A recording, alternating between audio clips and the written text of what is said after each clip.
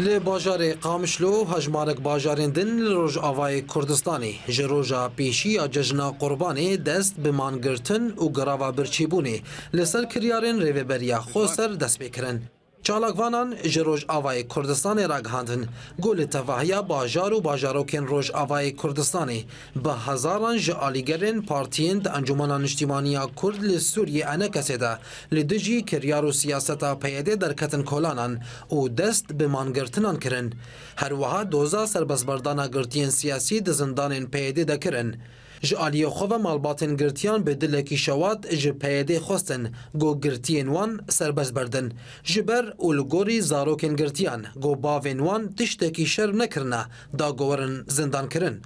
Di heman demê de hîn endamên Encûmena Niştîmanî ya Kurd, Enekes, e li bargeha xwe ya li rojhilatî Qamişlo di greva birçî bûnê de berdewam in û li gorî kesên ku di greva birçî bûnê de beşdar bûne ku ew ê di greva xwe de berdewam bin ta ku hevalên wan yên di zindanên PYD'ê de werin berdan. Ji aliyekî din ve jî hate zanîn ku di roja yekem ji cejna Qurbanê de asayîşên Rêveberiya Xweser, êrîşî gundên Zerkanlî û Cobanlî yên bi ser navçeya Raco ya li gundewarê Efrînê ve kirin, da ku xortan bi darê zorê bibin leşkeriya xwe ya neçar. Lê li gorî neşteciyên herdu gundan ku ciwanên wan reviyan ser çiyayên derdora herêmê,